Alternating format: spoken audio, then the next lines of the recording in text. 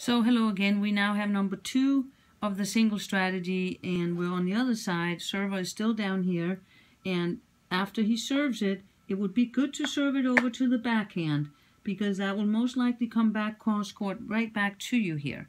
If you hit it to their forehand, you don't know if they're going to hit it here or here. You're kind of not sure. So out to the backhand, you have a pretty good chance that you could you'll be looking for a forehand.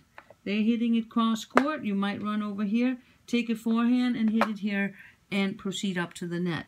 So you're always looking for the open court, hit to the open court when you can um, in singles. When the open court is with your cross court shot, always take it. And I'll get into explaining what that means in a second. Now you serve it here to the backhand. And they return it, but they stay back.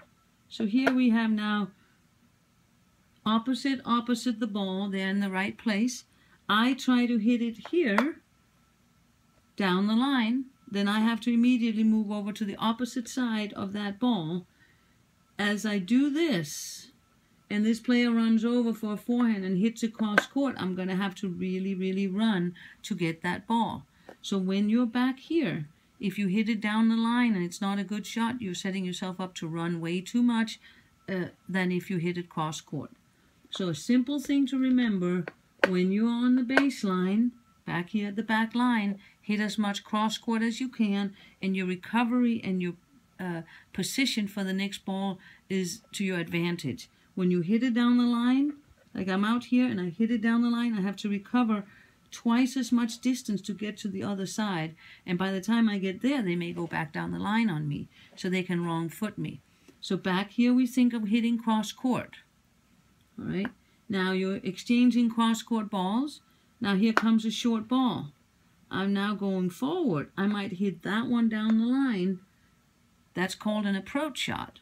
I'm from here going to advance to the line. I don't come to net on a cross-court ball. I advance behind a straight ball. There. This player now has to run over, and they're going to hit into my coverage. So typically I don't come to the net on a cross-court ball. I come to net when I can hit it down the line because that puts me in front of the ball, in front of the action, and I have a better chance for the next shot.